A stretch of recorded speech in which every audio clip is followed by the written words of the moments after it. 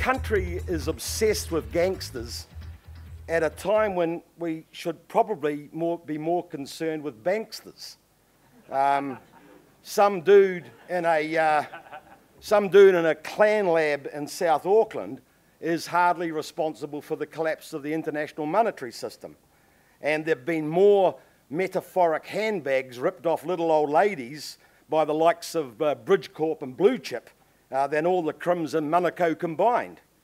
Yet the uh, Māori gangs are our social devils and the focus of our moral panic. This is a, an implicit principle, I think, that has been referenced more than once today already, and that is that we must internalize the harms caused by our regulatory system in our analysis of drug related harm. Drug control policies can and do cause significant harm.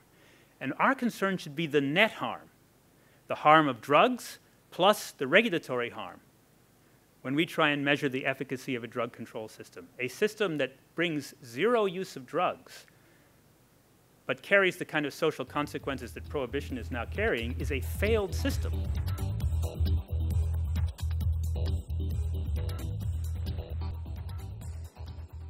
Firstly, the laws are inefficient.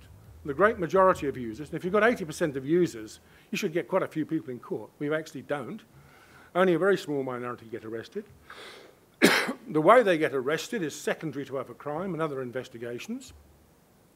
The process is discriminating since certain groups, notably, notably male and Maori, get arrested at a far higher rate than female and non-Maori who are consuming exactly the same number of joints per week. So you, have got to be in the right group to get caught. And finally, they're ineffective. We actually followed people up after conviction, and there was absolutely no change in the behaviour. If you actually looked at that as a therapeutic treatment, it misses most people, it's discriminatory, and has no effect you would really not be prescribing this for your patients, would you? Police spend hours, weeks, months gathering local information which assists us to seize illicit drugs, uh, locate offenders and uncover uh, drug laboratories. Uh, we've created over a number of years specialist uh, uh, police units uh, try, to try and contribute to reducing supply. The National Clandestine Laboratory Response Teams, the Clan Lab teams, support all police districts to locate and dismantle clan labs. These terms, teams in turn are supported by uh, intelligence analysts who work to identify offenders who purchased uh, many of the precursors involved in these laboratories. I think there's a general point to be made here, which is that we easily overestimate the effects of policies on actual behavior. And this is an area where uh, um, uh, it seems as if the, what goes on out there on the street among young people is rather little affected by the, um, by the nature of the uh, criminal regime that's supposed to be deterring it. The issue of arrest, conviction, incarceration, post conviction sanctions are very, very different depending upon what your race is, what your age is, and what your economic status is. And we don't really talk about that that much.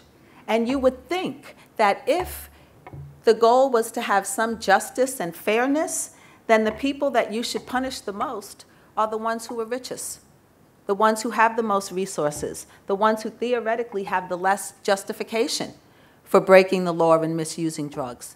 But no matter where you go in the world, that's not the case. And proportionality has two basic aspects. Are the enforcement activities you're pursuing proportionate to the objective you're trying to achieve? Um, and uh, as, as, as, as, you've uh, heard me say before, there are certain instances around the world where uh, it's hard to justify that the level of enforcement is uh, proportionate according to the objective. The second ever is the extent of punishment.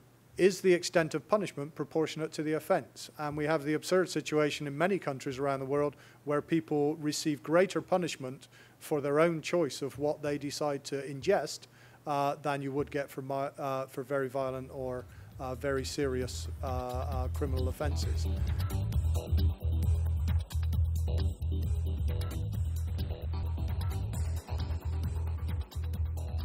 Just let me say that there's no war on drugs in New Zealand any more than there is a war on violence.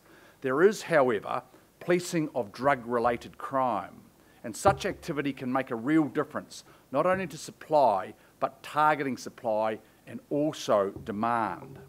It's not a black and white question. We don't have to decide whether it's just ta tackle supply or just tackle demand. Clearly, the inclination of individual users to seek substances of abuse can be reduced in some cases through education and treatment. But equally, we must engage in serious and effective policing of drug supply because demand reduction can only ever make a small impact. It's simply not true to say that those who are involved in use but also dealing to support their addiction or because they're part of a drug milieu don't get substantial prison terms. They do. In fact, they're the majority of offenders who are getting substantial prison terms. Uh, and it seems to me it's that group that we need to start thinking about because it's that group that the system is probably completely ineffective for. And it's that group that we have no reason to believe deterrent punishments work for. In my view, the whole issue of public security enforcement is a subset of the justice question. First, you look at how the, what the health issues are around all, any and all drug use all drug use, regardless of whether it's legal status. Then you look at the justice questions of how best to manage um, the population in a justice context, and then you deal with any enforcement or public security issues as a subset of that. If, at the moment, um, the whole globe really is obsessed with the other way around, where public security, enforcement, punishment is the number one priority when dealing with um, issues around drug use. I, do a lot of talks as well about prisons in Australia, and, and my point is that it should be the last resort. It should be the thing we do last with people because it is not a place we can actually help people. Uh, and that's, I've worked in prisons, I know a lot of people who work in prisons, they try hard, but the environment is just not the right place to do. And I would much prefer people went into treatment unless we had no other option but to send them to prison. It's violent, it's intimidating, it's aggressive, male and female, and we really shouldn't be sending people there unless we really have to.